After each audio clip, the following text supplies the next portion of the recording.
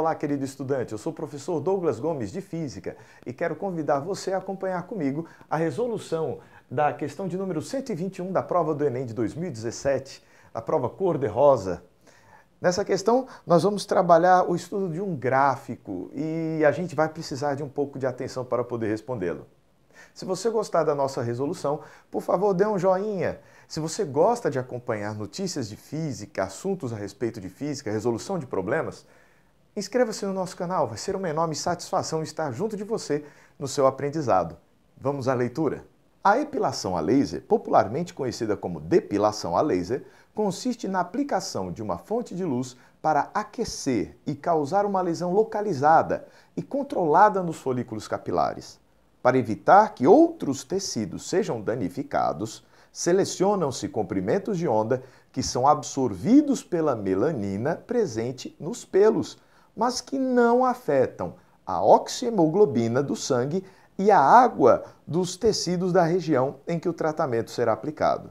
A figura mostra como é a absorção de diferentes comprimentos de onda pela melanina, oxihemoglobina e água. Qual é o comprimento de onda em nanômetros ou nanômetros ideal para a epilação a laser? Opção A, 400 Opção B, 700. Opção C, 1.100. Opção D, 900. Opção E, 500. Bem, estimado estudante, para nós irmos adiante, nós vamos representar aqui na lousa o gráfico em questão. Em seguida, vamos fazer uma análise para ver qual seria o comprimento de onda ideal para afetar a melanina, mas não afetar nem a oxihemoglobina, nem a água. Então me acompanhe. Eis aqui o gráfico que vai nos dar, em função do comprimento de onda lambda, fornecido aqui em nanômetros ou nanômetros, o percentual de absorção para cada uma das substâncias, a melanina, a água e a oxihemoglobina. Em cima dessas substâncias, em cima desse gráfico, eu preciso procurar algum valor de lambda aqui no gráfico. Qual valor de lambda não vai afetar nem a oxihemoglobina nem a água, mas vai ser absorvido pela melanina.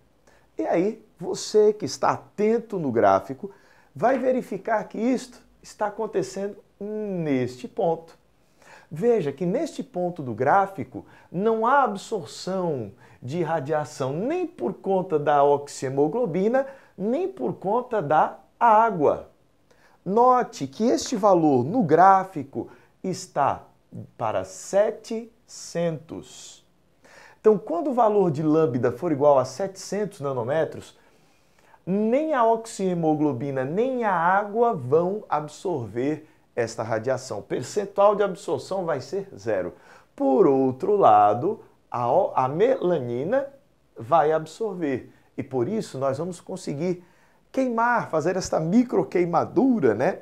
essa lesão localizada por esse motivo, nós vamos dizer qual é o comprimento de onda ideal para a epilação a laser, aquela que vai afetar apenas a melanina referente ao pelo. É o valor de lambda igual a 700 nanômetros ou 700 nanômetros, que consta na opção B de bola.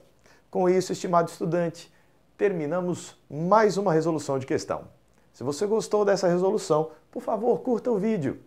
Se você tem interesse em acompanhar mais assuntos de física e outras resoluções de problema, eu convido você a se inscrever no nosso canal. Será uma enorme satisfação e um privilégio estar ao seu lado na busca por conhecimento em física. Nos vemos em um próximo vídeo. Até lá!